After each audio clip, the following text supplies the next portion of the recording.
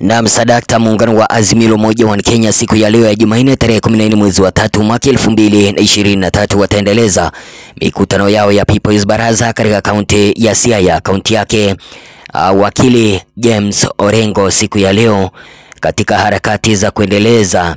na kuweza kumshinikiza Rais William Samoei Ruto kuweza kupunguza gharama ya maisha hapa nchini. Bwana Odinga na muungano wa Azimio moja Umoja wa Kenya wanaendeleza ajenda ya kuweza kuwasihi na kuweza kuomba wafuasi wao wa muungano wa Azimio la Umoja wa Kenya kuweza kupatana upande wa Nairobi tarehe ishirini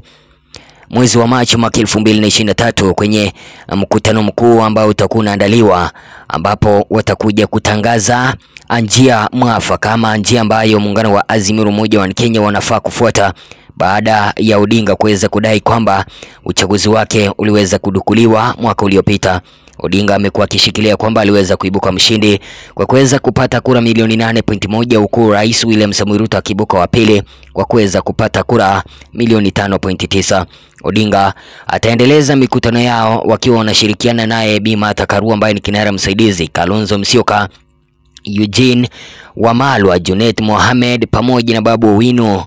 George Wajakoya na viongozi wengine. Odinga ataweza kuandaa mikutano yake upande wa Nairobi mnamo siku ya Jumatatu wiki ijayo. Nikiweza kumnukuu gavana wa kaunti ya Siaya ambaye ni James Agrey Orengo aliweza kusema kwamba welcome to Siaya County tomorrow, ambao ni, ni siku ya leo for the people's baraza The voice of the people is the voice of God and it is sacred.